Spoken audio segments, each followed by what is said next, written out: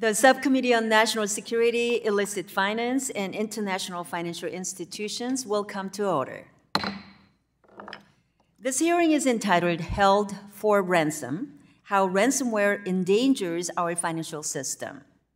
Without objection, all members will have five legislative days within which to submit extraneous materials to the chair for inclusion in the record.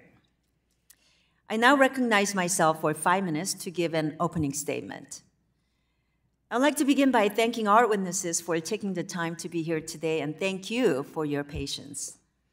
I'm delighted to sit right next to my friend and colleague, Representative uh, Beatty, and additionally, I, and along with my colleagues on both sides of the aisle, uh, wish Chairman Luetkemeyer a speedy recovery. Today's hearing will provide policymakers with essential information on the anatomy of a ransomware attack.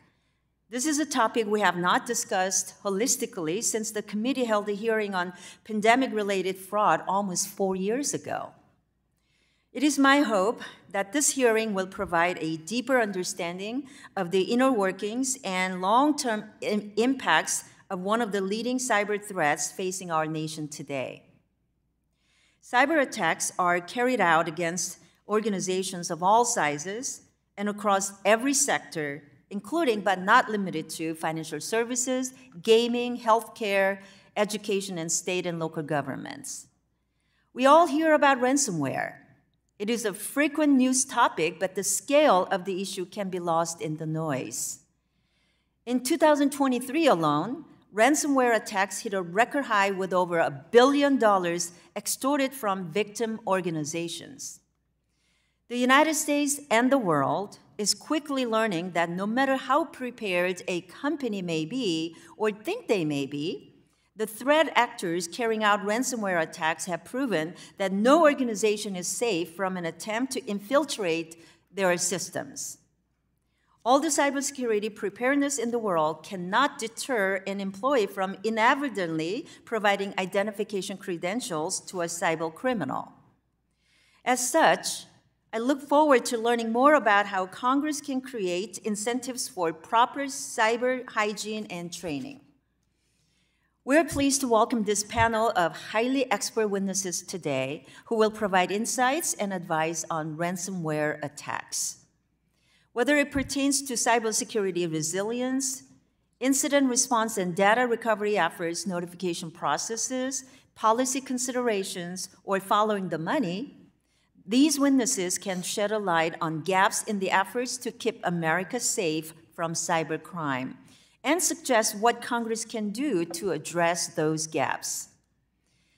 Just over a month ago, two cities not far from my district, Oakley and Pleasant Hill in California, were the victims of a large ransomware attack, prompting the city of Oakley to declare a state of emergency. The technology divisions in these cities dropped everything to work with law enforcement to get incident response and recovery missions underway. Ransomware causes lasting real world impacts for many across the country, as seen with this case in California. Similarly, in February, Changing Healthcare, which is one of the largest healthcare intermediaries between providers, patients, and payers, fell victim to what is being called, in quote, one of the worst ransomware attacks in years. The severity of this attack has forced the healthcare industry to reevaluate and reestablish entire facets of its supply chain efficiencies, payment cycle management, and cybersecurity readiness. I think it's fair to say that the ransomware threat is not going away anytime soon. As AI continues to grow more sophisticated, cyber criminals will harness these technological advancements to exploit the vulnerabilities of their victims. This weekend, Iran attacked Israel, our greatest ally in the Middle East, with drones and missiles launched from Iranian soil. Since Hamas' barbaric attack against Israel on October 7th, the United States has been aware of Iran's role as a major funding source for the terrorist organization. Additionally, Iran has been facilitating aggressive cyber operations, ransomware included, against the United States and its allies. In February, the Justice Department announced that an Iranian national had been charged for a multi year hacking campaign targeting U.S. defense contractors and private sector companies. It is clear our adversaries overseas will continue to employ cybercrime campaigns as means to hurt our nation. Congress must properly educate itself on the severity of this issue to better protect not only US citizens and businesses, but US national security interests as a whole. I'm grateful that the minority party has approached this hearing in a bipartisan fashion. This type of collaborative effort between committee staff and members on both sides of the aisle is exactly how we must approach a threat of this severity. We all must row in the same direction if we want to undercut the incredibly lucrative ransomware marketplace. So, with that, thank you again to our witnesses for being here today, and I yield back. The chair now recognizes the ranking member of the Subcommittee on National Security, Illicit Finance, and International Financial Institutions, the gentlewoman from Ohio, Ms. Beatty, for four minutes for an opening statement. Good morning, and thank you so much, Madam Chair, and thank you also for your collaboration with me on so many financial issues and for holding this hearing today. And thank you to the witnesses who are here today to discuss necessary solution to ransomware attacks. Every year, small and medium sized businesses, including financial institutions, are the victims of ransomware attacks in which bad actors introduce malicious software or malware into a victim's computer system to cut off access to critical data or systems until a ransom is paid. These attacks have the potential to bankrupt businesses, especially small businesses that already have fewer resources to play in place to protect themselves, and can also pose grave threats to our national security and the broader economy. Ransomware attacks, which represent approximately 10% of all cyber attacks, are sharply on the rise. In fact, the value of the United States ransomware incidents has increased nearly tenfold from $102 million in 2018 to $1.1 billion in 2023. Since 2020, there has been an 85% increase in the number of, of attacks, as well as a steady increase in the total ransom values received by ransomware attackers. In 2021 alone, the FBI received 3,729 ransom complaints. These figures, which don't even take into account the many victims who fought, failed to report their attacks, are staggering. Although companies have the option to purchase cybersecurity insurance to cover financial losses and businesses' interruption costs stemming from ransomware attacks, these policies are becoming increasingly more expensive and harder to obtain. It's time that Congress is able to identify and have bipartisan solutions to ensure that businesses have adequate awareness and preparation to protect themselves and consumers. Committee Democrats have worked with the Biden administration to put forward real solutions and have proposed critical legislation to strengthen cybersecurity in the financial services industry. I am also incredibly grateful for the counter ransom efforts led by Treasury and its agencies, such as Financial Crime Enforcement Network, FinCEN, and the Office of Foreign Assets Control, OFAC. Treasure, eh, Treasury and the Financial Stability Oversight Council have been working around the clock to identify and to address these attacks, including releasing a package of red flags that will help financial institutions to identify and trace payments to bad actors who commit these crimes. It's critical that we continue to empower and support these agencies to do what's necessary to prevent these attacks and to protect the United States businesses and consumers rather than undermining and attacking them at every turn. In addition, attacks against law enforcement agencies like the FBI and IRS criminal investigation hamper these agencies' ability to use all of their resources to protect businesses that are vulnerable to these attacks. And finally, we certainly won't remedy this issue by undercutting the very agencies at the center of the solutions. But I look forward to working with my Republican colleagues to address this growing national security threat. And thank you again to our witnesses. I look forward to hearing your testimony. And I yield back. Thank you, Ms. Beatty. Today, we welcome the testimonies of Jacqueline Burns Koven. Ms. Koven is head of cyber threat intelligence and at uh, Chainalysis. Thank you for joining us. Daniel Sergile. Mr. Sergile is Senior Consulting Director at Unit 42 by Palo Alto Networks. Thank you. Megan Stifel.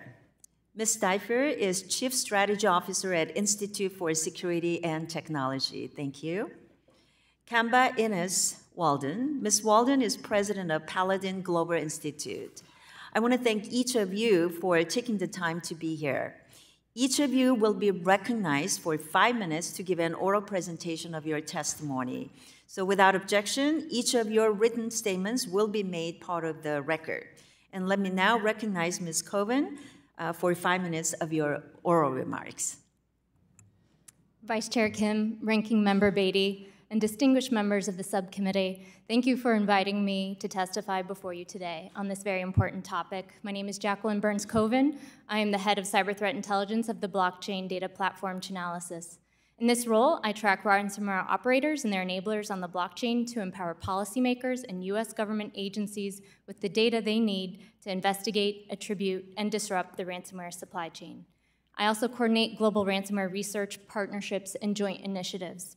For the past 10 years, Chainalysis compliance and investigative solutions have been used by law enforcement, regulators, financial institutions, cryptocurrency businesses, and cybersecurity and incident response firms to investigate and disrupt threat actors engaged in ransomware and other illicit activities.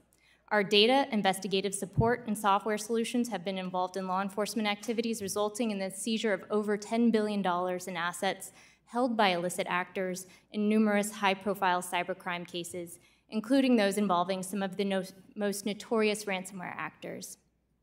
The subcommittee's focus on ransomware is well timed, as 2023 proved to be a landmark year in terms of ransom payments. According to our data, ransomware gangs reached an unprecedented milestone, surpassing $1 billion in extorted cryptocurrency payments from victims, the highest ever annual amount observed. The upswing in total ransom payments in 2023 can likely be attributed to a major escalation in the frequency, scope, and volume of attacks. The professionalization of the criminal ecosystem has lowered the barriers to entry, making it easier than ever to deploy ransomware and give way to numerous ransomware strains. Although cryptocurrency is the predominant form of payment demanded in these attacks, cyber extortion dates back before the introduction of cryptocurrencies and the use of cryptocurrencies by ransomware actors provides a unique opportunity for those seeking to investigate and disrupt this activity. But it is a common misconception that these cryptocurrency transactions are completely anonymous and untraceable. Cryptocurrency transactions are inherently public, and the data from those transactions is preserved on a transparent, immutable ledger at Chainalysis, we analyze the data from blockchains to map out the full network underpinning these campaigns, from the malware operators to the affiliates to the infrastructure providers. Our blockchain intelligence has supported a number of successful government operations involving the arrests, asset seizures, and ransomware takedowns. For example, in 2021, Chainalysis Solutions aided the FBI investigation of the infamous Colonial Pipeline ransomware attack. The Department of Justice was able to seize $2.3 million worth of Bitcoin from the ransom received by DarkSide, a Russian cybercrime group. Most recently, Chainalysis was leveraged as part of a multinational law enforcement operation to disrupt, disrupt Lockbit, a Russian-based ransomware as a service responsible for some of the most brazen attacks on the US financial system last year, including attacks on ION, ICBC, and Equilend. In February, the US Department of Justice and the UK National Crime Agency announced that it had successfully seized servers, 200 cryptocurrency accounts, and public facing websites and obtained uh, decryptor keys for Lockbit victims to recover their data without ever paying a ransom. These stunning takedowns show the cost incurred by threat actors choosing to engage in ransomware. Despite a record year in payment revenues and victim counts, our data suggests a nearly 50% decrease in the actual payments made compared to the year prior, a finding corroborated by incident response firms. This suggests that while it has become easier than ever to launch a ransomware attack, it has in some ways become more difficult to profit. This trend, while encouraging, is fragile, and we must maintain vigilance, enforce best security practices, and capacity building to empower government agencies and our allies. We need to continue to make it more difficult and risky for threat actors that do receive payment and demonstrate the ability to impose cost no matter where these ransomware actors reside around the world. We strongly believe that blockchain intelligence solutions like Chainalysis are key to continued success of operations like these and in fighting back on this growing form of cyber attack. To that end, we invite Congress's continued engagement on this topic as addressing this issue requires a whole of government approach in collaboration with the private sector. And we recommend that Congress ensure that law enforcement and other federal agencies have the resources necessary to comprehensively combat this issue. Thank you, and I look forward to your questions. Thank you, Ms. Koven. I now recognize Mr. Sergile for five minutes to give your oral remarks. Vice Chairman Kim, ranking members Waters and Beatty, and distinguished members of the committee, thank you for the opportunity to testify on the ransomware threat landscape and the critical role incident responders play to help organizations recover from attacks. My name is Daniel Sergile, and I'm a Senior Consulting Director of Unit 42 which is the Threat Intelligence and Incident Response Division of Palo Alto Networks. Prior to this role, I spent 25 years as a cybersecurity practitioner and 10 of those years as a Chief Information Security Officer. This includes the financial services industry. For those not familiar with Palo Alto Networks, we're an American headquartered company founded in 2005 and have since become the cybersecurity leader. We support the U.S. federal government, critical infrastructure operators, eight of the 10 largest U.S. banks, and a wide range of state and local partners. This means that we have deep and broad visibility into the cybersecurity threat landscape. We are committed to being good cyber citizens and national security partners with the federal government. The current cyber, cyber threat landscape demands that we all work together. The scourge of ransomware has taken cybersecurity from once was seen as an IT issue to something with day to day relevance for many Americans that presents reputational, operational, and financial risk for organizations of all sizes. My written testimony includes some concerning, concerning numbers and trends. We are seeing the ransomware threat grow, and attackers use the sophisticated methods to extort money. Those increased harassment activities and multi, those include uh, increased harassment activity and multi-extortion techniques. AI will further amplify the scale and speed of attacks and enable them to move, to more quickly identify an organization's critical assets for exfiltration and extortion.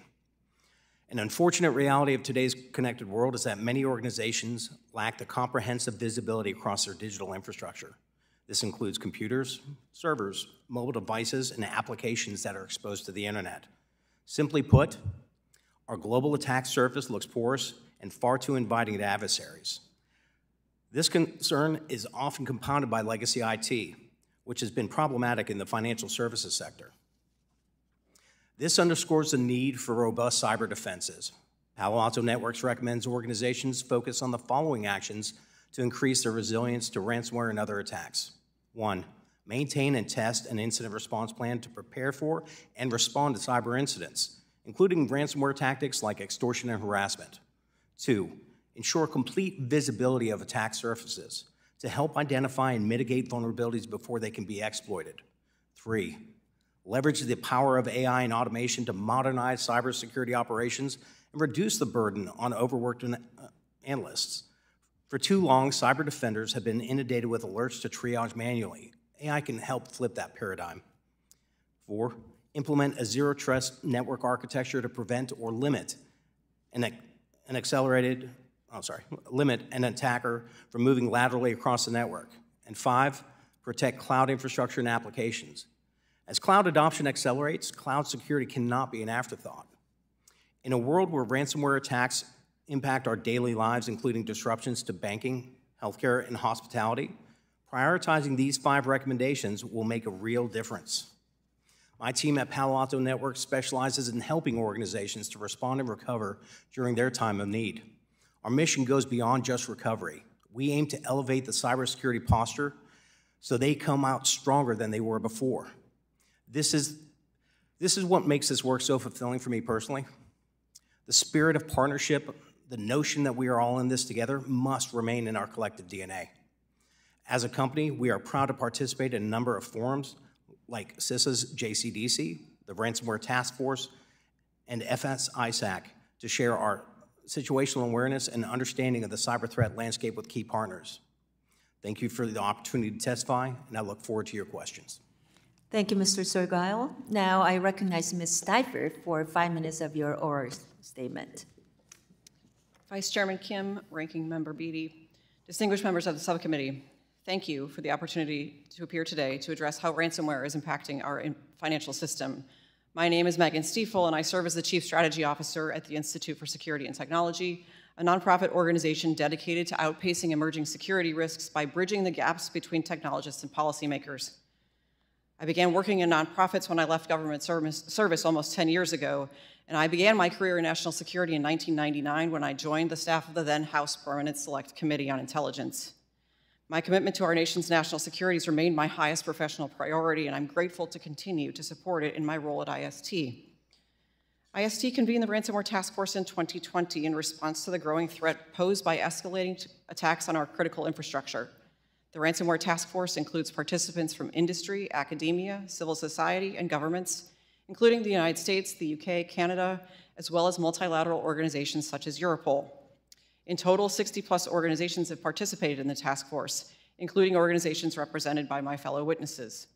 In a span of four months in the early 2021, this coalition of stakeholders examined measures to help better deter, disrupt, and prepare and respond to ransomware.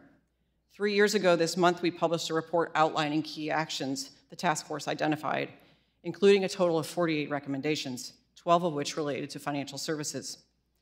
Importantly, we called for closer regulation of the cryptocurrency sector due to its role in ransomware payments and resourcing, including through compliance with existing tools designed to reduce illicit payments, such as KYC, AML, and CFT rules and regulations. Ransomware attacks affect the financial services sector as they affect all of our critical infrastructure sectors, disrupting the provision of essential services and costing the industry millions. Ransomware and the financial services sector have a further relationship because cryptocurrency is the lifeblood of this criminal industry at this time. It enables attackers to get paid and move money around to their various partners and affiliates. Just days after we published our 2021 report, several high profile ransomware attacks occurred, leading to the disruption of fuel and meat distribution, as well as the delivery of health care. While these were not the first attacks to target critical infrastructure, they formed a pivotal moment. Following these incidents, Congress and the Biden administration, in a bipartisan manner, recognized that ransomware posed an increasing national security threat and responded. We, you established incident response and recovery uh, reporting requirements, a cyber emergency response authorities provision, state and local grant programs, and the administration began leveraging sanctions together with law enforcement disruptions to combat the ransomware as a service business model. Much progress has been made, and much of it aligns with the task force's recommendations and yet much work remains. Next week, we will publish our latest public progress report. Without creating too much of a spoiler, I can share that we have not seen further progress in 24 of the 48 recommendations. With respect to those 12 recommendations related to financial services recommendations, we assess that only four have seen significant progress. Unfortunately, the stakes keep getting higher. Today, as my fellow witnesses have identified, organizations can regularly confront not just encryption of their data, but also threats to release organizational and customer sensitive data. This risks privacy and intellectual property, together with increasing physical threats to their employees and their families. As a result, there remains an ongoing urgent need for concerted action by Congress, the administration, the American people, and our partners and allies in order to defeat ransomware. Cognizant of this urgency, I will focus on three ways to reduce the risk and impacts of ransomware to the financial services sector. First, financial sector resilience is essential to maintaining our roles as the world's financial leader. Congress and the administration should consider continue to explore how to better incentivize organizations across the ecosystem to develop and maintain their networks and products in the most secure and resilient manner possible. Second, in a corollary to resilience, we must ensure that government entities that underpin our role as the world's financial hub have adequate resources to investigate abuse of our services. In short, until we have a secure by design ecosystem in order to defeat ransomware, we must be able to follow the money. Timely and relevant information is essential to doing so, but in our experience, US government departments and agencies lack sufficient resources to adequately leverage this visibility to its fullest extent. This challenge is even further exacerbated outside the United States, where countries that harbor uh, ransomware actors or otherwise members of the Financial Action Task Force have insufficient resources to fully fulfill their obligations. The United States can part partner to close these gaps by helping bridge and scale legal and investigative capacity at home and abroad. Finally, the financial services sector has tremendous reach and can play an even greater role in helping raise our collective defenses. Congress and the administration should explore avenues for the government and financial services sector to partner to further drive adoption of known cybersecurity best practices. Thank you, and I look forward to your questions. Thank you, Ms. Stifel. Let me now recognize Ms. Walden for five minutes to give your opening testimony. Good morning, Vice Chairman Kim, Ranking Member Beatty, and members of the subcommittee. Thank you for the opportunity to discuss ransomware attacks and illustrate why improved governance, better resilience, meaningful information sharing, and public-private partnerships are critical to combating ransomware. My name is Kemba Walden, and I am the president of Paladin Global Institute, a think tank committed to ensuring that secure critical infrastructure and the safety of people online remain core to sustainable technological innovation. I am also a co-chair of the Ransomware Task Force, which brings together experts across industries to combat ransomware. Prior to Paladin, I served as both the acting National Cyber Director and the Principal Deputy National Cyber Director before that, I stood up Microsoft's counter ransomware office in the Digital Crimes Unit.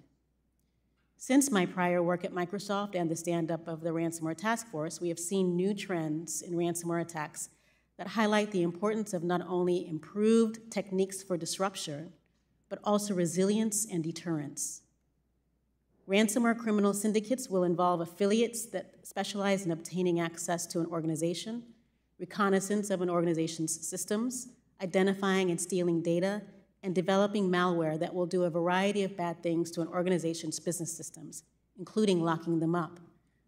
Victims of an attack will suffer extortion either to prevent its data from being exposed to the public or to unlock critical business systems. Sometimes victims experience both types of extortion or just one.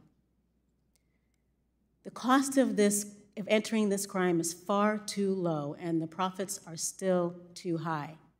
As these attacks have evolved to more sophisticated enterprise like operations involving multiple players, countering these efforts requires a multi stakeholder approach.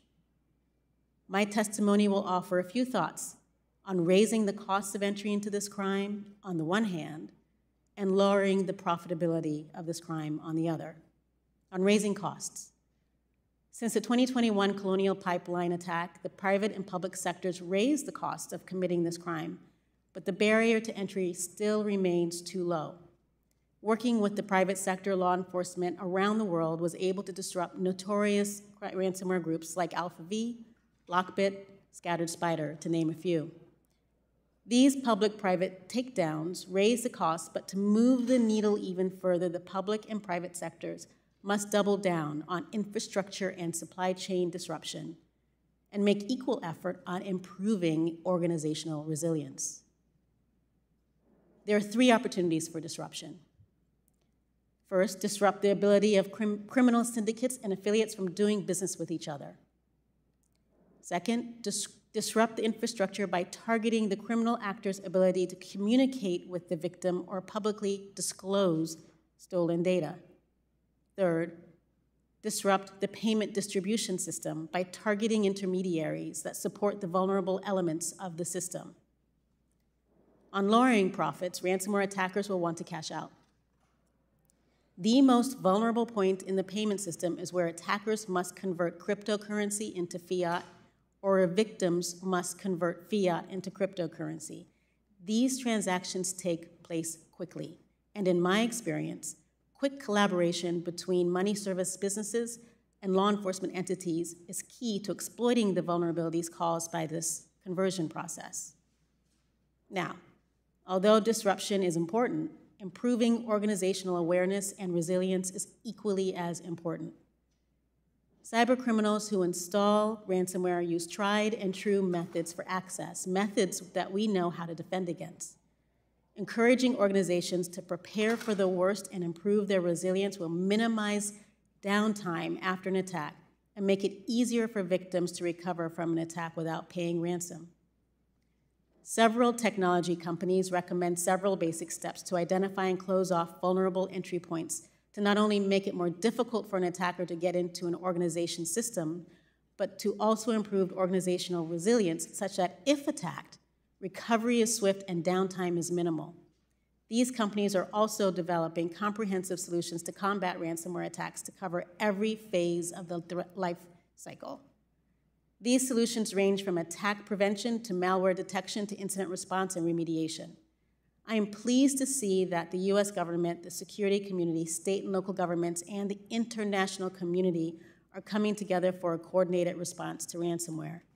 Much work needs to be done, but I am optimistic that we have the leadership and ability to accomplish our goals. In conclusion, the Ransomware Task Force published a set of thoughtful and measured policy and operational recommendations, including several that require legislative action. Approximately half have been implemented, and I encourage all stakeholders involved to act where they can to reduce the incidence of ransomware attacks. Thank you to all of our witnesses for your opening testimonies. We'll now turn to member questions, and the chair recognizes myself for five minutes of questioning. Uh, first question to uh, Ms. Koven. Although ransomware attacks have existed for decades, they are now sometimes carried out using digital assets. So I want to ask for your perspective on the role that digital assets play in ransomware attacks and how can law enforcement and Congress work to combat ransomware? Thank you for your question. Yes, so cryptocurrency is a liquid, uh, instantaneous form of transport border payments, which has made it attractive to institutions and individuals for legitimate purposes. As with any new technology, there's always going to be bad actors looking to exploit it and use it for malicious purposes. Um, as you've mentioned, ransomware existed prior to the existence of cryptocurrency, so have the threat actors involved in ransomware today. They were previously involved in banking, malware, and Trojans, harvesting financial credentials and accounts. Um, but in dealing with cryptocurrency, they've uh, incurred additional risk because of its traceability. We're no longer seeing ransom notes with the cryptocurrency address plastered on the front because that is an Achilles heel to these operations. And we have so many examples of law enforcement using this cryptocurrency address against them because from so a can single you talk crypto- about and describe the level of coordination required to respond to uh, the ransomware attacks? Can you talk about the coordination? Uh, yes, from re reported incidents involving cryptocurrency addresses, law enforcement is able to understand the entire ransomware supply chain. We can understand the malware used, sometimes the access, and even where they launder their funds. It's an incredible lead to understanding these networks better and being able to disrupt not only where they cash out, but the other entities involved in the supply chain. Thank you. Ms. Stifel, where do you see ransomware trendings as AI and other emerging technologies become even more sophisticated than they are now? And how will these advancements be exploited by threat actors? And how can law enforcement leverage the same technologies to stop these actors? Thank you for the question, Vice Chairman. Um, in terms of where we see the direction of ransomware progressing, we at this time see AI as having limited impact, largely used to uh, scale up the ability to undertake phishing. Um, we do, though, have tremendous concern about the future of AI and the direction that it is uh, allowing criminal actors to potentially take, uh, uh including making more sophisticated deepfakes and the like that ultimately form the first step in the chain of ransomware attacks. On the flip side, however, we also know that AI can be leveraged by some of the companies represented here and other members of the task force to boost cybersecurity defenses. That applies both to incident response and uh, digital forensics and firms, as well as uh, within networks um, by allowing uh, organizations to better maintain their IT networks to identify when patches are disseminated, allow them to install the most essential patches first. But we also need to be quite vigilant as to the direction and shape of AI overall. And I think it's important that uh, we think about the overall governance of AI and the need for organizations leveraging these capabilities to consider both the positive impacts they can have on society as well as the detrimental impacts. Ultimately, we seek to see a more sustainable digital future, and that's one that requires a risk-based approach. Thank you. Mr. Sergile, the National Cybersecurity Alliance has said when dealing with cybercrime, an ounce of prevention is worth a pound of crime or a pound of cure. As policymakers, what should we do to highlight the need for adequate cybercrime prevention frameworks and education? So I, I actually use that, that statement with most of my customers, and mm-hmm. it, it's more about the preventative side of things, right? The bolstering, the, the shoring up of basics of a cybersecurity program. Part of the issue that we see within most organizations is as quickly as business is moving and as quickly as IT is moving, uh, some of these cyber hygiene or basics out of that um, are not there. From, uh, I'm more of a practitioner and more of a technologist, so I'll, I'll, talk about the, the implications of just basic hygiene rather than policy. If you want to have a policy, uh, a discussion about policy, we have folks that, that can talk about policy as a whole. Um, what I will say is this, because of new technologies and how quickly we're implementing across the board. And in a lot of organizations, their attack surfaces being so porous and then not knowing about it. Um, just, I think concentrating on the, the foundational aspects of, of Thank you, Mr. Sorgoyan. I hate to cut you off there, but uh, you can please uh, present your response, longer response in writing if you like. Thank you so much, because my time's up. Uh, let me now recognize the distinguished ranking member, Ms. Beatty, for five minutes for questions. Thank you, Madam Chair. And, and again, to all the witnesses, thank you uh, for your detailed information and certainly your experiences. We figure out uh, how to tackle this issue. Uh, let me start with you, Ms. Walden. Uh, we certainly are all well aware of the recent ransomware attacks on large companies and name them. It could be Johnson's Control or MGM Resorts or Ardent Health Services, and the list goes on. But because of that, there seems to be some common misconception that cyber threat actors who commit ransomware attacks are more likely to target large companies and not small companies. Can you address this? And should small businesses uh, be concerned about ransomware uh, attacks? And give us your opinion on that. Thank you, Congresswoman Beatty. Uh, yes, small and medium sized businesses should be concerned about ransomware attacks. These criminal gangs are uh, using opportunity, they are really just looking to make a buck. And the best way to do that is to go for under resourced uh, communities. So that's why you see ransomware attacks increasingly on schools, on hospitals, on public safety. These are opportunities for ransomware criminals to make a buck. And so helping small and medium businesses remain vigilant and resilient and aware and proactive, I think, is key to getting after the problem. Ms. Stifel, I see you nodding with that. Would you like to add? Well, maybe I can just go down the road because now I see Mr. Sergile. Uh, quickly, is there anything that how they may be impacted differently than the larger firms that you want to add to that? Thank you, Congressman Beatty. I would just echo uh, Ms. Walden's remarks that it is unfortunately often those who are uh, cyber poor who are targeted for these types of incidents. Uh, which oftentimes can drive these organizations out of business. And with small businesses being the lifeblood of the American economy, they do need additional support. Uh, there are some early term funds available through the Department of Homeland Security uh, in a grant program that, that uh, was established in late 2021. I would encourage Congress to su further support that uh, grant program and explore other avenues to uh, approach this community, which is essential to our. Thank you. Mr. Sergile, because you also said we should work together and, and No, absolutely. partisan. So in my past, I was the CISO for a regional bank, and I had to make the same choices that you're talking about. Do I go and invest uh, my funding into providing for my customers? Do I secure? And that's kind of the, the crux of the issue for a lot of organizations because they have to make those hard decisions.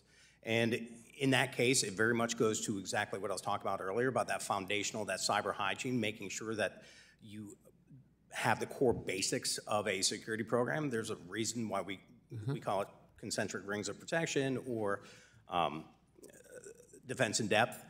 A lot of organizations don't have that and they don't have the funding for technology. So in essence, what they end up doing is implementing, uh, for me, it was everything from, uh, you know, FFIEC regulations uh, and dealing with the OCC and basically taking an audit-based approach. So you see that where they get audited and then they spend on that audit. I'm going to hate to cut you off, but my time in, I want to get to one more uh, question. Uh, and it was kind of triggered because Madam Chairperson asked us what could we do uh, differently or more through education. So let me ask it in this same way. What can we do in Congress, uh, specifically under the jurisdiction of this Financial Services uh, Committee, to address this growing problem? We'll start with you, Ms. Walden. So for this committee, under this jurisdiction, I think uh, perhaps tax credits, incentivizing uh, smaller regional entities under this jurisdiction to adopt cybersecurity practices, to be able to uh, integrate certain tools that are necessary to maybe do uh, improved training and awareness, adopting a cyber plan, a cyber response plan, uh, grants, as uh, my colleague Ms. Stifel mentioned, grants that's attached to funding is also a Let me, let me ask this because I have about 30 seconds. Are there any legislative measures that we have on the table now or anything uh, that we should bring up? And I'm asking that, Madam Chair, because we're on such a good roll today uh, that we have witnesses who are nodding their heads, and maybe that's because Madam Chair and, and I are uh, co-chairing this, that we want to end on a good note. Uh, My, my time is up, but I, I just again want to say thank you. Submit in writing, uh, because this is a historic moment for us uh, when we're doing all this state-of-the-art, uh, that we can make a difference and save small and large businesses. Thank you.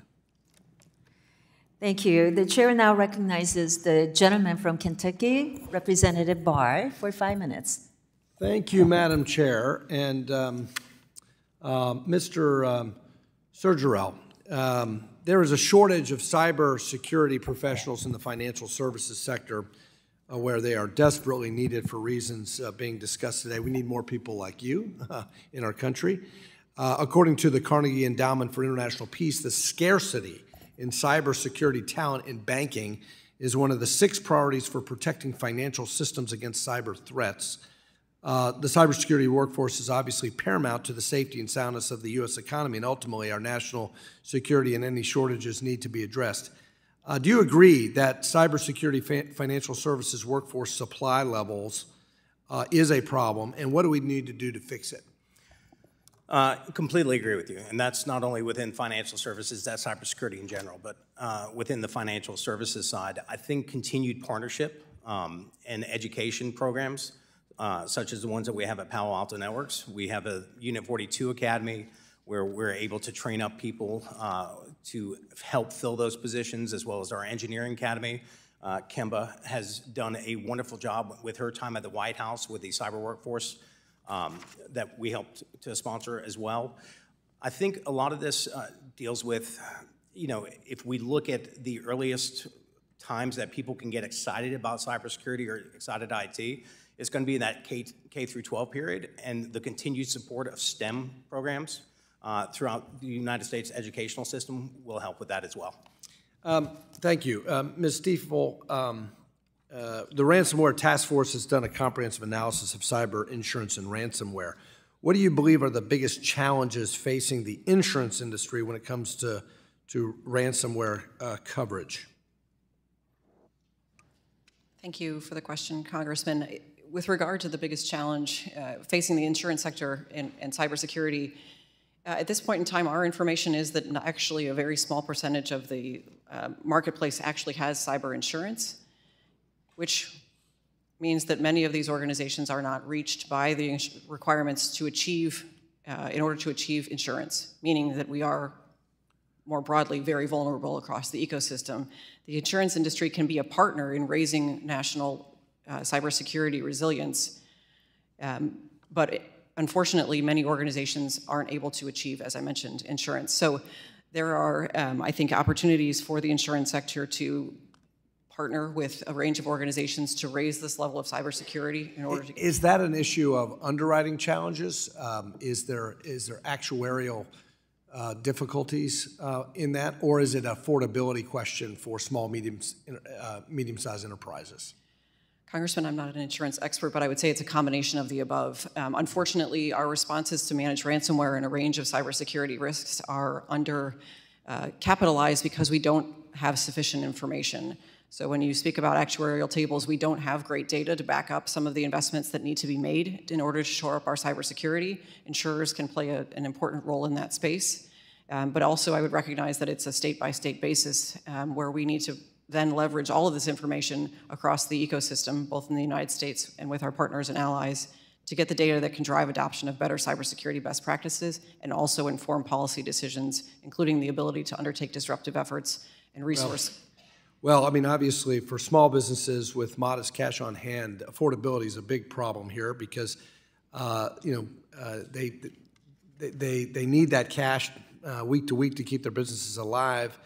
And if they're ransomed, uh, failure to pay could be an existential issue for those uh, small and medium enterprises. Uh, so protecting American businesses is really important, and, and that's why we need to make uh, insurance available and affordable.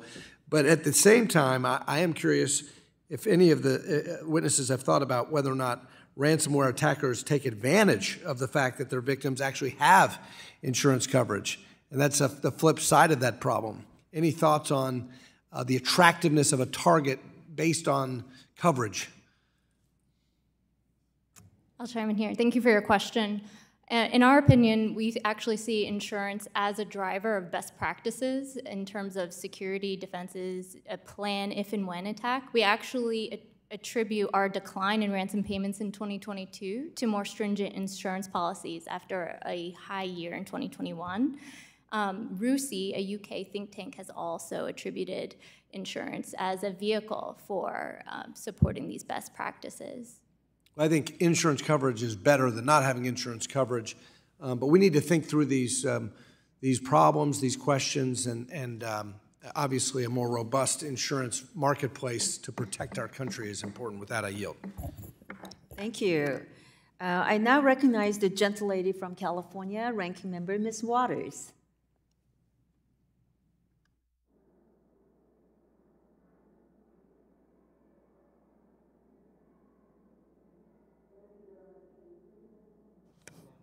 Cannot hear me on this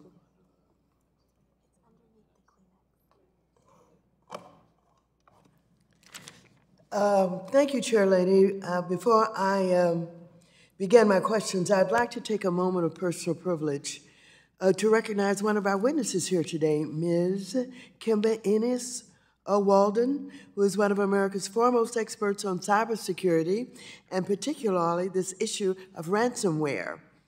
She also happens to be someone I've known for decades. Back when she was but a child living with her family in the Bahamas, her father, Dr. Justin Fraser Eneas, served as the American at the American ambassador when my husband, uh, Sidney Williams, was the United States ambassador to that nation.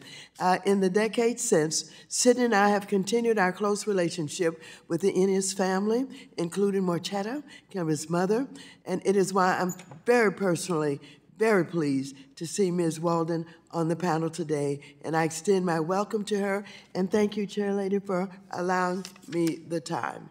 And with that, I will go right to uh, a question that I have for um, Ms. Walden. Um, Ms. Walden, I'd like to discuss the ransom payments uh, that public and private sector victims make to ransomware threat actors. It seems said uh, it's been said that there is one reliable way to end ransomware altogether, and that's to starve the criminals of their proceeds. This is why some cybersecurity and national security experts have recommended that Congress ban ransom payments altogether, perhaps with limited exceptions for situations that have national security implications.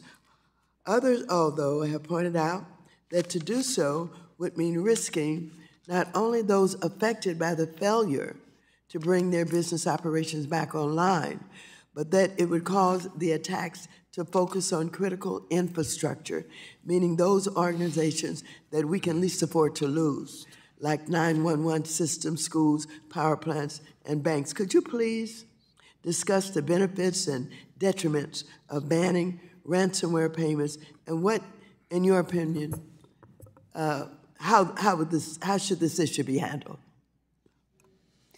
Well, thank you so much, and it's lovely to see you, Congresswoman Waters.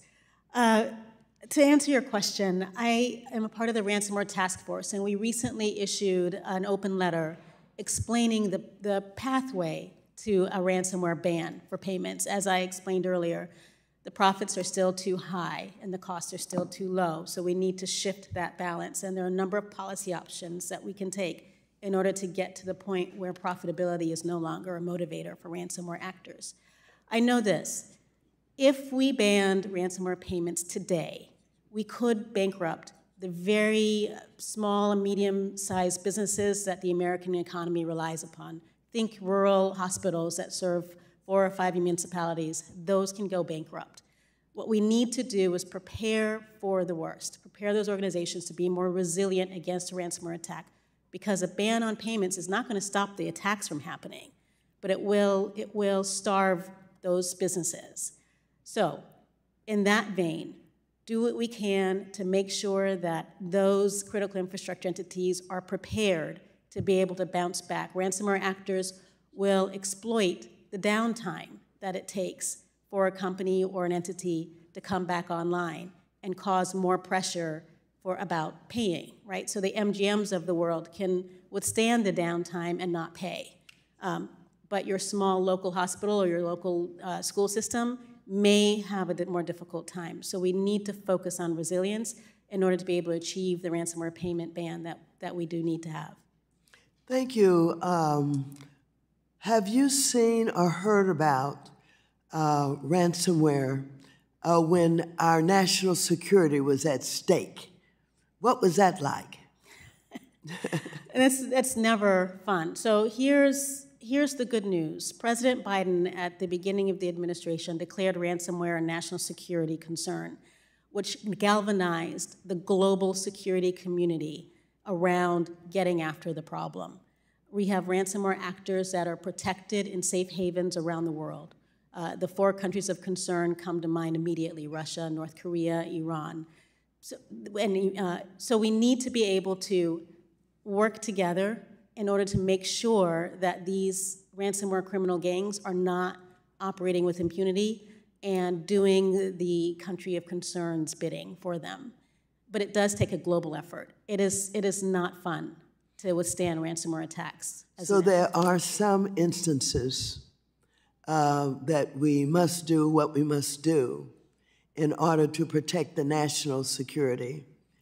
And uh, we must recognize that uh, when we talk about should we or should we not pay up. Thank you very much for being here today. Thank and you. I yield back the balance of my time. Thank you, Ms. Waters. I would now like to recognize gentleman from Georgia, Mr. Loudermilk, for five minutes of your questioning. Oh, thank you, Madam Chairman, and thanks to all of our witnesses for being here and testifying today. Three years ago this month, a ransomware gang gained access to an unused VPN account belonging to the Colonial Pipeline Company, operated out of Alpharetta, Georgia. Using this account, they were able to exploit the company's trust in that account, exfiltrate and encrypt data, and ransom it back to the company for millions of dollars. Luckily, the company was able to cut off the hackers' access to downstream systems to protect the pipeline infrastructure but in doing so caused a major disruption to the flow of oil in the eastern United States. While security professionals and law enforcement are still analyzing the attack, the chain of events highlighted a cross sectional a cross-sectoral cybersecurity vulnerability, which is trust. Um, Ms. Stifel, the same year that the high-profile Colonial Pipeline attack happened, the Financial Crimes Enforcement Network received a number of ransomware-related BSA filings worth appro approximately 1.2 billion. This was a 188% increase over the previous year's total. While the latest data isn't available yet, I'm concerned by the trend apparent in the data that we have. Ms. Stifel, are you aware of this trend more broadly, and do you think it's driven by a real increase in the number of ransomware attacks, or is it improved reporting, or both? Thank you for the question, Congressman. I do think it's a combination of the above. Um, we do, as I was saying in my remarks, we need information to drive our ability to disrupt this business model. Right. And so it's critical that organizations that are victims of ransomware incidents report that information. It's also critical that those who have visibility on ransomware payments, which doesn't only is not only limited to those who have to file uh, under the Bank Secrecy Act, that they share information and have protections to share information so that we can bring all of the capabilities that we have in both public and private sector to this question. I also think that, as we've seen with uh, extortionate moves to leverage reporting requirements, some threat actors are uh, encouraging organizations, perhaps, uh, to ensure that they do report. We've seen some some uh, tactics of that nature. So I think it all is also the case that organizations are more organizations are coming forward to report those incidents out of fear that uh, their data may become available on a leak site and they will not get ahead of the message.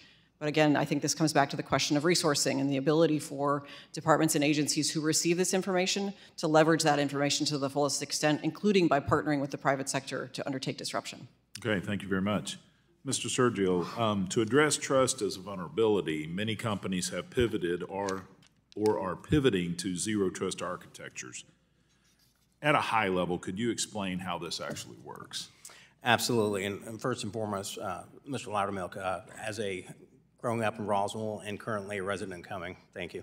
All right. Um, so if, if we take a look at the way that, that cybersecurity from a, we started off with trust but verify, and then within the financial institutions, you have this wonderful concept of four eyes principle when you're looking at certain things. Zero trust in its essence is you don't trust anybody or anything that's on your network, and you need to verify everything that has access into your network. What that allows to do is basically work together across the totality of your, your infrastructure. So uh, your identity, your, your device, your network, your internet, being able to pull those all together and verify along the way that you're supposed to be, you are who you are on what you're supposed to be to get to what you need. Okay. That's the short answer. After spending uh, 30 years uh, in the, the uh, IT sector, one of the uh, things that uh, rules that we live by was not uh, if you were going to be hacked, but when you were going to be hacked. And to build a secure network based on your risk. I remember I worked for Honeywell Federal Systems, and they built a network that was totally secure, but it was so slow no one could use it. Yeah. Considering the risk factor, though, do you think that uh, financial service firms are more susceptible to, to breach than non financial service firms? At the end of the day, it, really comes down to what the threat actor is looking for, right? Nation states typically are looking for advantage or a way that they can leverage something from you. Those that are looking for financial gain will go after where the money is, and in this case, it's going to be a financial services form, uh, firm. Um, across the board, there are certain things that I see, and I have the dubious honor of, of or the dubious distinction of having been on the largest breaches in the last 18 months. What I can say across the board, what I see in breaches is four core principles. One is lack of segmentation, so it's wide open for threat actors to come across, and, and a few other factors. All right, thank you. You bet. Thank you. Let me now recognize the gentleman from North Carolina, Mr. Nickel, for thank, five minutes. Thank you so much, uh, and thank you to our witnesses for being here. Small and medium-sized businesses, including financial institutions, fall prey to ransomware attacks yearly. These attacks can drive companies into bankruptcy and threaten our national security. We need to find bipartisan solutions that equip businesses with the tools and knowledge to safeguard themselves and their customers. It's a common misconception that when cryptocurrency is used as a ransomware payment, these transactions are completely anonymous and untraceable. However, the transparency of the blockchain is actually used to investigate and disrupt ransomware attacks. Uh, first question for you, Ms. Koven. Can you explain how that works? Yes, thank you for your question. So sometimes investigators will use Chainalysis proprietary data, but also the reporting mechanism of these victims, and we have to encourage these victims to report as quickly as possible because laundering the cryptocurrency can take anywhere from, from minutes to hours. Um, and basically, law enforcement can trace these funds to cryptocurrency exchanges where they will have KYC information able to identify and disrupt. But really, speed and training and resourcing is really necessary to equip law enforcement entities around the United States and around the world to be able to react quickly. Th thanks so much. Ne next set of questions to you, Ms. Walden.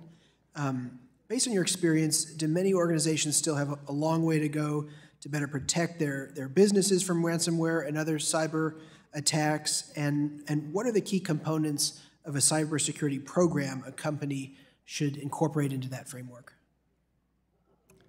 Thank you for your question. Uh, so, yes, a lot of companies, a lot of entities, state and local governments, all of it, need to do more in order to protect themselves and prevent uh, ransomware and criminal actors from getting into their systems in the first place. So, I have some very basic, tried and true methods. Uh, one is to know your assets, to know your network, understand where your crown jewels are to protect them well using those zero trust principles. Uh, another is to deploy multi-factor authentication. It is still a thing uh, that we need to be able to be able to identify how to do that.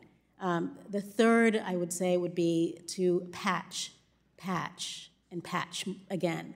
Uh, it turns out that there are a handful, maybe a few dozens of vulnerabilities that exist for where there's a patch that exists uh, that still are vulnerabilities and that remain unpatched. Uh, CISA's known exploited vulnerabilities list in catalog is a great place to start. Training and education and good governance would be my fourth. Uh, so an entire enterprise needs to be trained at some level, some more than others. The CISO needs to know what the CISO needs to know, but the line worker needs to understand a bit of security as well the entire enterprise has to be well informed about security practices. Uh, those would, and then when to help incident responders, uh, those incident responders will need to know who's in charge and to make decisions. Uh, so you need to have a plan and to practice that plan on a regular basis. And then my final thing, and I promise, would be uh, ransomware actors are now not just locking up critical business systems and stealing data, but they're locking up backups. And we've been telling enterprises appropriately to back systems up. Uh, but now we have to be very specific. Those backups should be offline and off premises.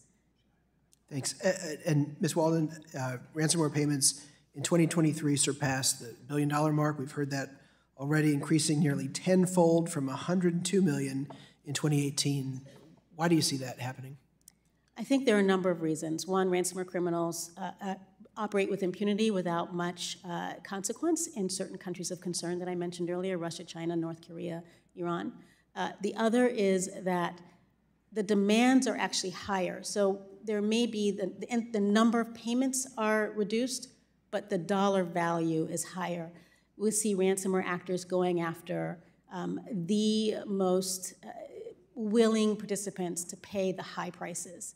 Uh, and a lot of companies don't have the, the resources to withstand the kind of downtime that locking up a backup, for example, would, would cause. And, and I'm running out of time, but, but where, where should Congress be focused to try and prevent these uh, ransomware attacks?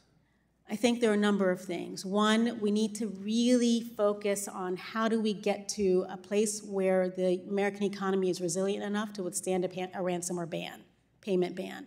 That's the North Star, but there are some real steps have to be taken because ultimately we need to protect the American economy, the American people. Uh, so that's one. Two, uh, we need to be able to allow certain uh, intermediaries in the payment system to be able to share information laterally and with law enforcement to be able to stop the process. Thank you. I yield back.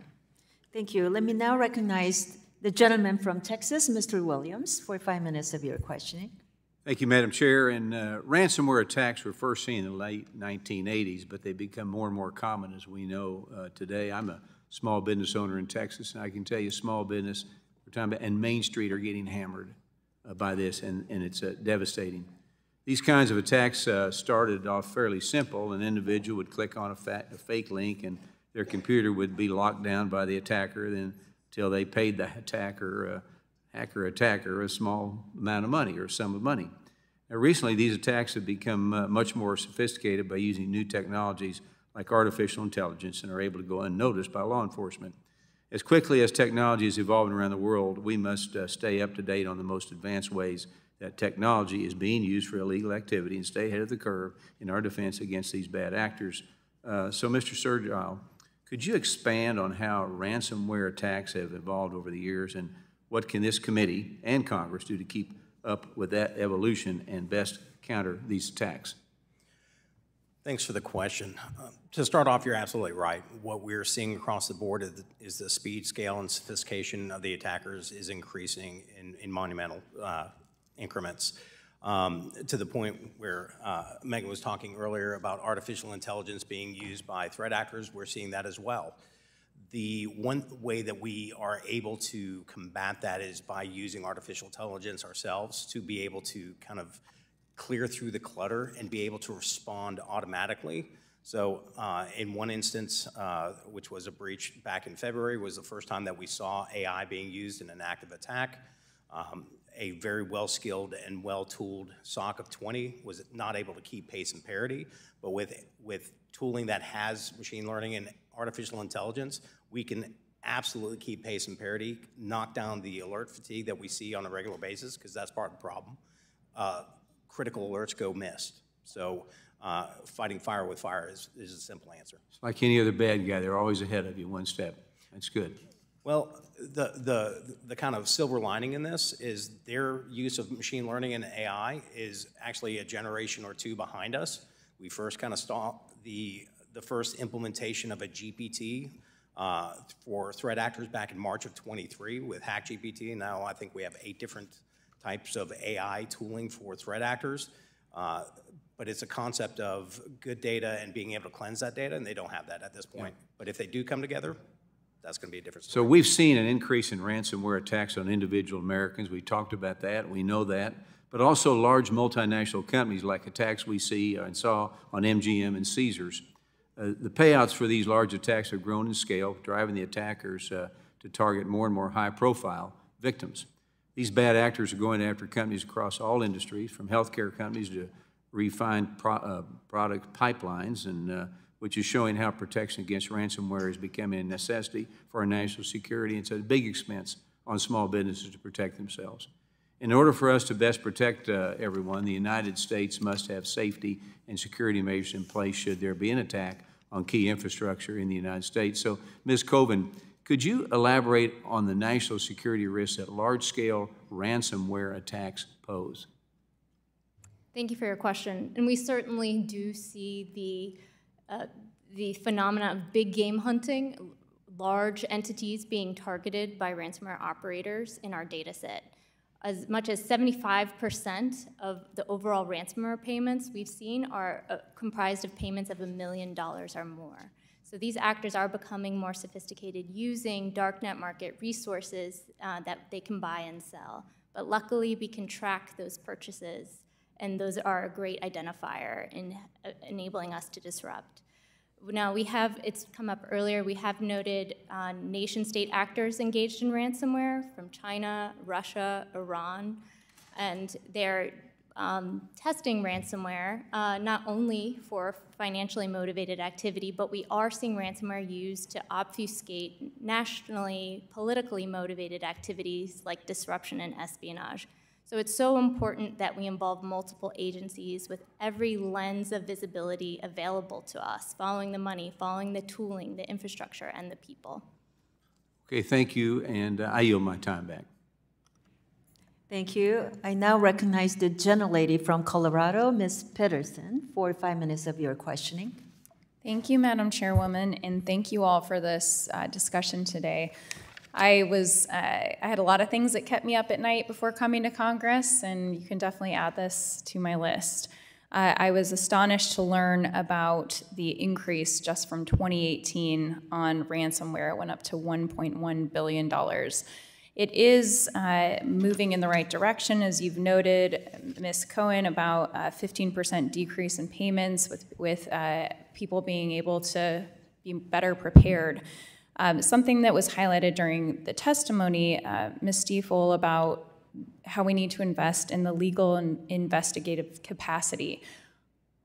What does that look like? I know that that is difficult when we have our adversaries internationally uh, who are unfortunately not being held accountable. What should we consider for specific steps here in Congress to support that work?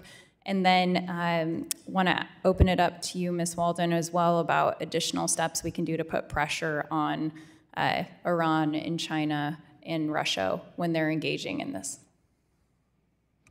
Thank you for the question, Congresswoman. So in terms of resourcing, uh, we're looking particularly at agencies who have investigative and enforcement authority within the committee's jurisdiction, obviously, the agencies at the Department of Treasury, but they work hand in hand with other elements of the US government. So uh, with respect to the number of SAR reports that were mentioned earlier, all of these reports are coming into the government. They're being disseminated to a handful, a small number of departments and agencies. There are a lot of reports. Uh, and as has been said before in prior testimony to the committee, a suspicious activity report doesn't mean illicit activity, but we have to look at all of the, the information. Unfortunately, um, there is a shortage, as we've heard today in testimony, of capable workforce. That also applies to investigators. It does take a higher degree of understanding to put the pieces together, to leverage capabilities that some of the witnesses have, um, to bring greater light to the activity that's being undertaken, both by whom and the tactics, techniques, and procedures that they're leveraging. Um, so that means that we need to also have uh, officers, uh, special uh, supervisory special agents, and the like over at the FBI in the, the Secret Service also in Treasury, who understand, have the training necessary to understand how to leverage what is available. I think it's also important, though, to look at ways that we can uh, incentivize companies to report, but also make sure that we're breaking down the barriers, limiting the ability for the government to, to partner with private sector partners to build a more holistic picture and leverage each entity, both public and private's capabilities to reduce the ability for these threat actors to maintain access to our networks certain actors in the ecosystem, public sector and private sector entities, have the ability to frustrate their ability to continue to operate. We don't see the incentives being in the right place right now, and we do think there's an opportunity for Congress to clarify. Thank you. And Ms. Walden, if you have a follow-up on what we can do uh, to put pressure on, on countries that are engaging in this. Absolutely. So, you know, I think what the FBI in particular has been doing is been naming and shaming FBI in, com in combination with DOJ and indicting, even though these threat actors remain in safe haven spaces. Um, then they were able to work with law enforcement across the world to be able to grab folks, because ransomware actors, just like the rest of us, like to take vacation, for example, um, don't necessarily want to stay in their home agency or their home country. So that would be one. Other would be another would be diplomatic efforts, uh, not something that necessarily Congress can do, but something that we have to continue to engage on. Um, there was one opportunity. It was thinly veiled, I admit, but you know we, we had some Chinese nationals that were apprehended by Chinese authorities. We had some, like I think it was REvil, some ransomware criminal actors that were apprehended by Russian authorities. Um, again, not perfect, but these are opportunities that we can continue to capitalize on. And I would echo what Ms. Stifel said. In, in expanding the ability for the IRS, the Secret Service, Homeland Security Investigations, FBI, to be able to understand signals that are available from large technology companies and cloud service providers, and understand the signals that are available from blockchain analysis and the forensics, and to be able to access and review SAR reports and put the whole picture together really tremendously improves law enforcement's ability to get after these threat actors. Thank you very much. I also wanted to ask all of you, and now I'm running out of time, but how do we, how can we as members of Congress engage our local municipalities, our businesses, and give them the information that they need to protect themselves and have those precautions in place? I can take a quick stab. I'm sure everybody has something to say. Um, the first is awareness is improved, but we need to be proactively going out to local municipalities. Sorry, now I'm out of time. I should have asked that. Yeah, we need more time. I apologize. Let me now recognize the gentleman from Iowa, Mr. Zach Nunn. Well, thank you very much, Madam Chairwoman. I want to thank the panel for being here. I think this is incredibly important on a bipartisan level to be able to both understand not only the threat, but talk about some real solutions behind this. I know each of you have worked in this in a really incredible way. We all know that with each passing day, our adversaries are continuing to shift their dominance, particularly in the cyberspace. And the threat posed is not just from state actors, it's down to criminal elements, lone wolf actors, as well as some really advanced technology like artificial intelligence that's starting to play in this space. In the last three years alone, we've seen a 15% increase in ransomware. And for the average, you know, main business, that's a $4 million chunk out of your paycheck, which means that it has a trickle-down effect on the entire economy. This is a billion dollar problem that we're addressing, and that's just starting with what's happening right now. Look, as a former counterintelligence officer, and I've had the privilege of working with some of you in this uh, realm before, we have to address the threat as it continues to evolve. And one of those things is looking at groups, Madam Chairwoman, like Volt Typhoon, coming out of the communist element within China, where they've offloaded into a proxy element the ability to go after this while holding themselves not accountable for their bad actors. The truth of cyber warfare is when it's rooted in the idea that it, this is a situation of a when this attack occurs, not if this attack occurs. And we have to be an all hands on deck approach to it. So with it, I want to um, highlight some of the things that we are trying to address, uh, and I appreciate those of you who have, helped weigh in on our Public and Private Ransomware Response Coordination Act to address some of the issues we're coming up with today. So I'd like to get into it. Um, you know, Megan, we've gotten to work together before, but Ms. Ms. Stoffel, one of the things I want to talk about first is share with us a little bit about ransomware as a service, uh, the background on how this is and how it really empowers people with a very minimal level skill set to perpetrate something that's very dangerous to all of us. Thank you for the question, Congressman, and for your ongoing service to the country. Um, ransomware as a service, as a business model, has become a major problem in this space. As Ms. Walden identified, it is far too easy for someone with very little capability to be able to procure, oftentimes on the dark web, the, uh, a set of capabilities that allows them uh, to leverage access in many cases that someone else has obtained in a network to deploy a, a ransom a set of malware that has probably been developed by yet a, a third person. So we have, uh, it's almost like a spider web where you have different actors who, many of whom may not have much sophistication, piecing together uh, the number of vulnerabilities that are uh, resident in our ecosystem in order to have an outsized impact on our economy.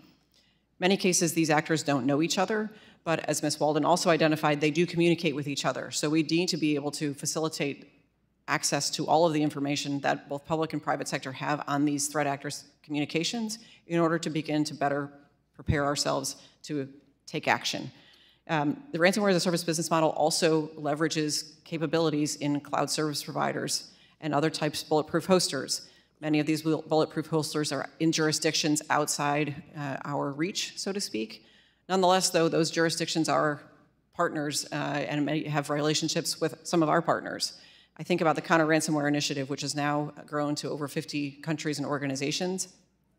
This collective effort could be a great tool to leverage with appropriate resources uh, the ability to take and put pressure on these threat actors who are living in safe havens and so I think there's an opportunity there for Congress to consider resourcing, uh, as I've been saying, departments and agencies to boost our support to our counter ransomware initiative peers yeah. to begin to extend our net overseas.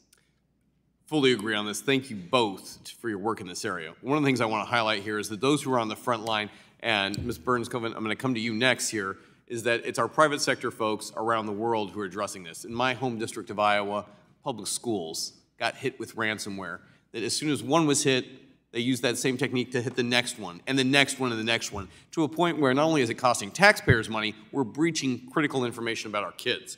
Look, in this bill, we're focused on threat detection, rate of information sharing, response time, and threat suppression. Talk to us a little bit about, in your experience, how partnerships like that can really help learn from the private sector to help the public sector. Thank you for your question.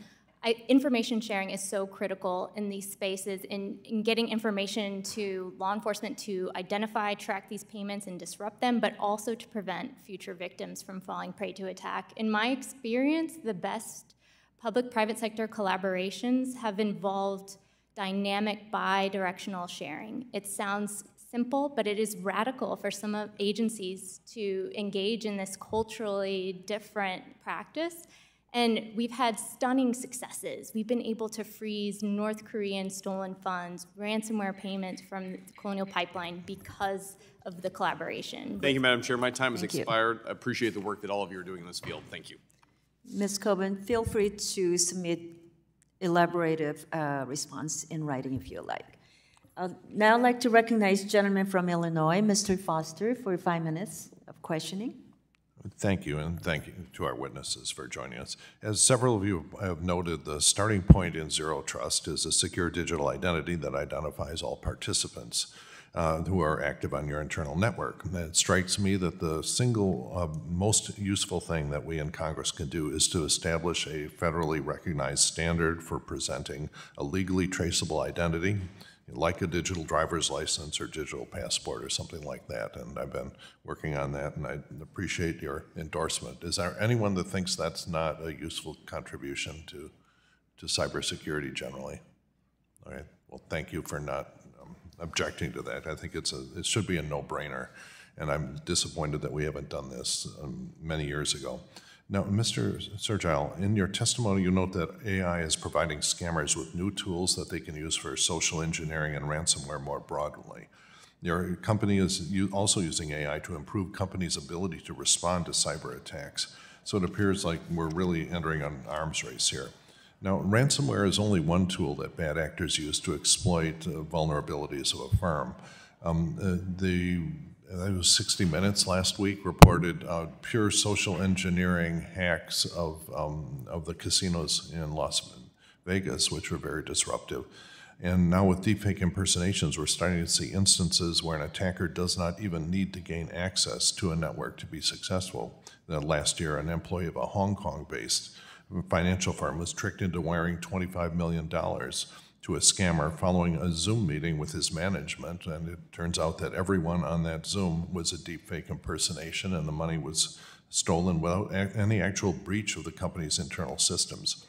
So there are two trains of thoughts about dealing with these deepfakes. Uh, the first one is uh, to imagine developing systems to automatically detect deepfakes, um, which I personally think is going to be a losing game over time.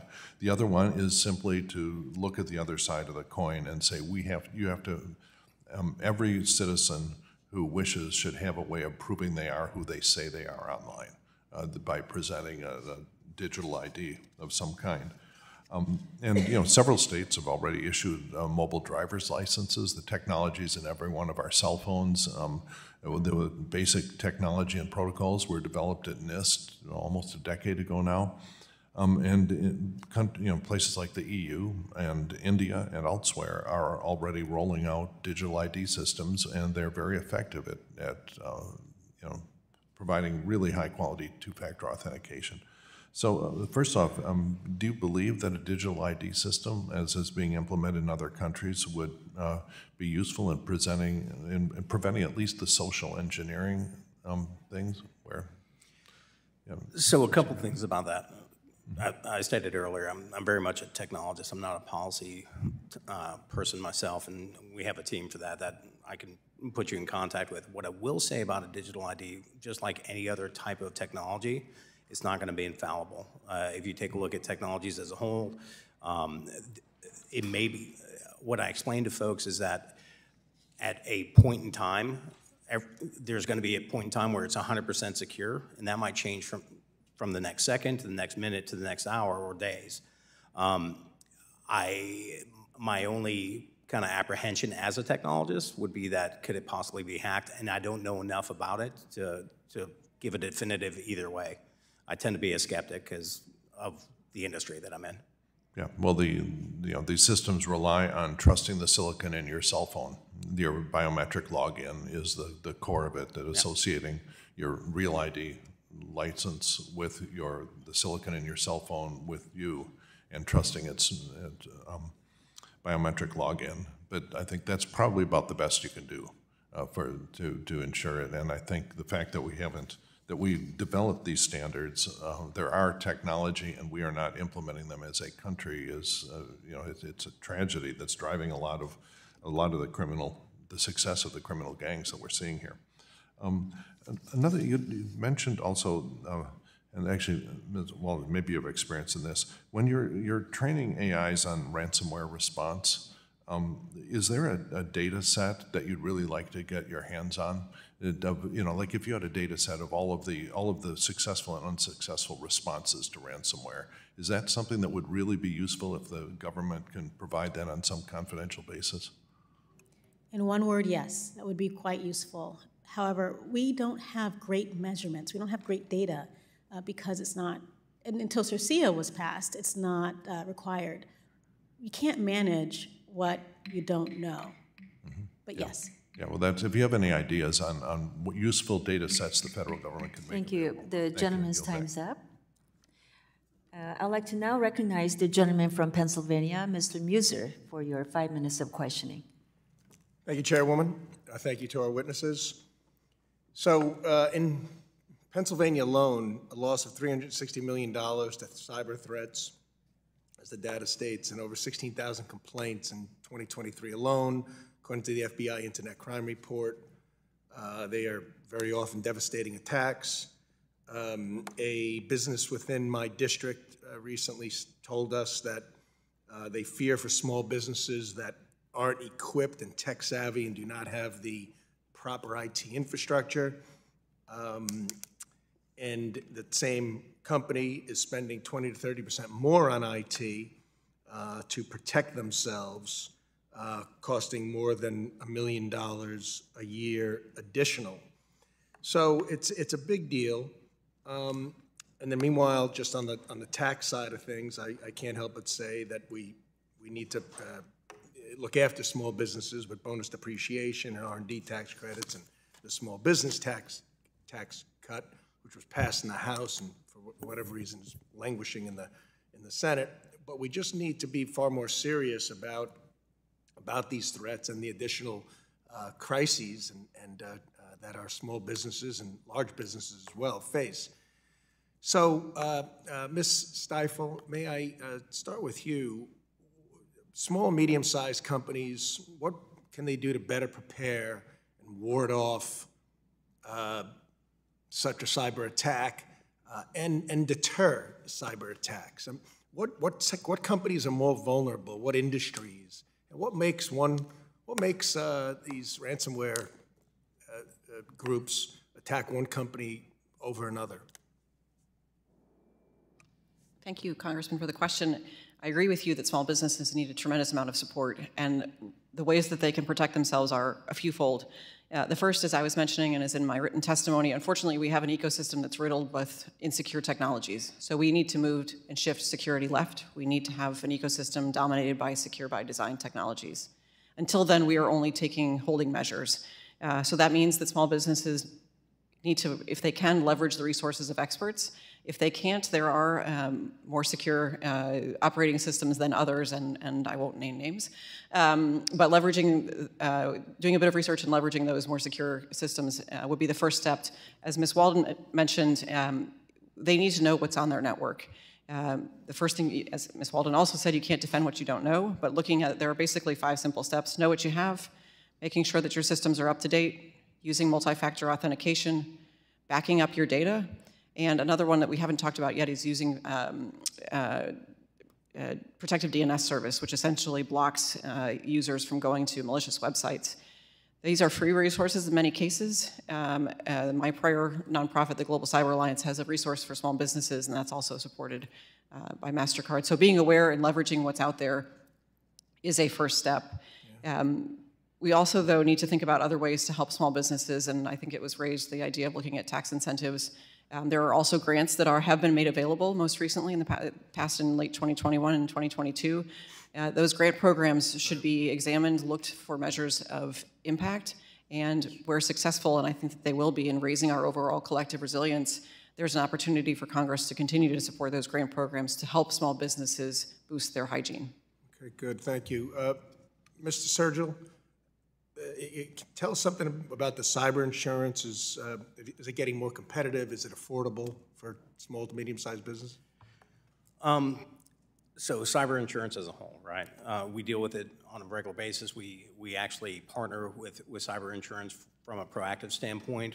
I can tell you, having been a practitioner and what I used to go through to, to acquire cyber insurance, it's dramatically different today. And I think a lot of that had to do with uh, newcomers into the cyber insurance world and the amount of tax that have happened, especially with everybody going home with COVID.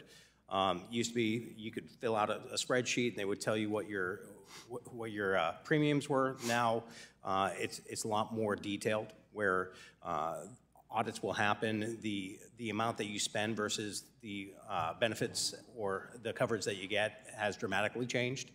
Um, and we're also seeing some insurance uh, organizations uh, not basically dealing with the nation state attacks in, in different ways to include Thanks. I'm, I'm, I'm almost out of time already. Uh, regarding the 60 Minutes that was brought up and, and, Russia and some of these crime organizations existing there, if you have any thoughts for what Congress can do to sanction those, we'd appreciate it. I yield back, Madam Chair. I would like to recognize the gentlelady from Texas, Ms. De La Cruz, for five minutes. Thank you, Chairwoman, and thank you, witnesses, for being here today. There were several things that stood out to me, um, mostly as a small business owner myself, and I think that education and bringing awareness is certainly key, starting with a hearing just like this. And there was something that Mrs. Uh, Stifel said that actually in, intrigued me because as a small business owner, we don't have the resources that the larger banks or the larger companies do.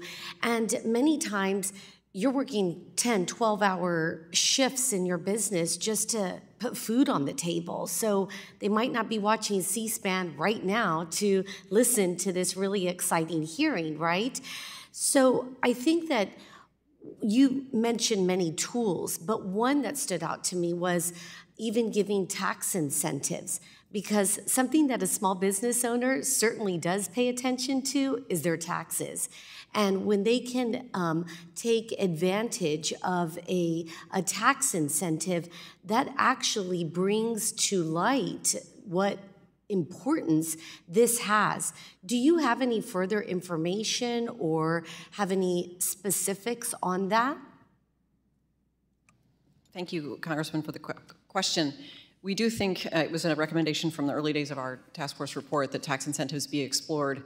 Um, and so we'd be happy to get back to you on that question. I think it's uh, important to ensure that uh, small businesses have uh, the opportunity to really understand the capabilities um, and the qualifications of an organization that might be essentially selling them services that they might use this tax incentive to procure. We would want to make sure that um, the system that's developed to support that tax incentive base be um, an ounce of prevention and not a greater problem, but we're happy to get back to you on that.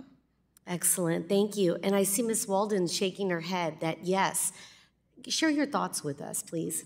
Uh, I completely agree. Just to add a bit of value on top of what Ms. Stifel said, I think the state of Maryland Institute has some a, a tax credit uh, that they're reevaluating and assessing to see the impact of it.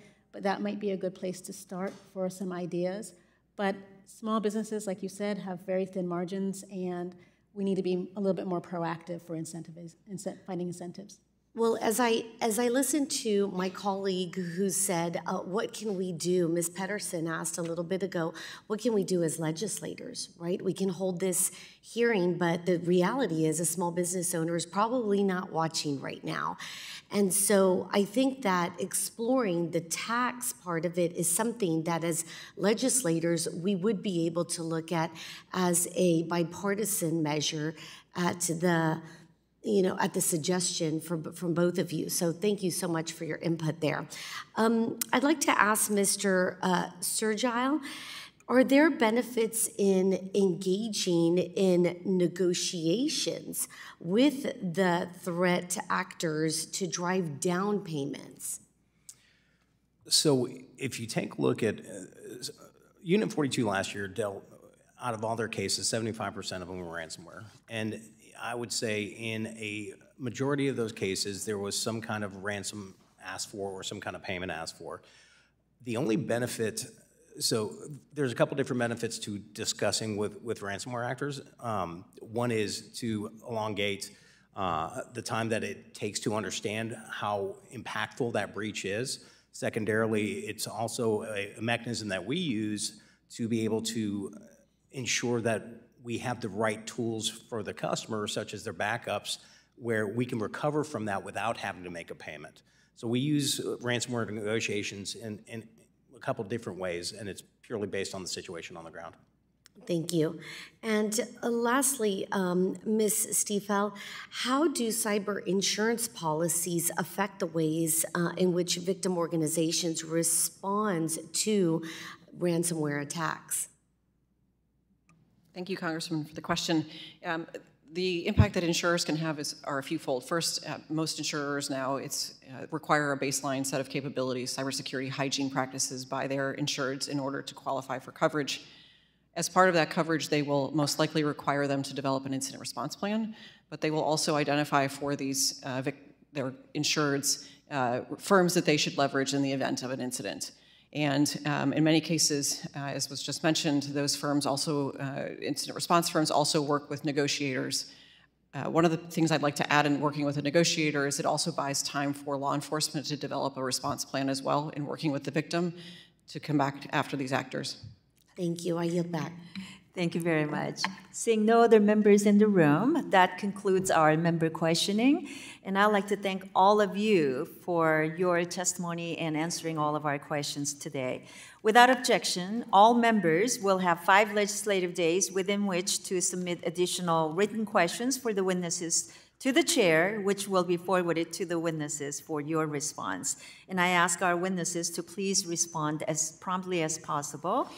And with that, this hearing is now adjourned.